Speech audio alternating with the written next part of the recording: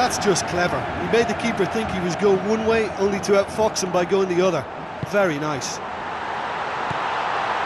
Bayern Munich. Really well taken goal.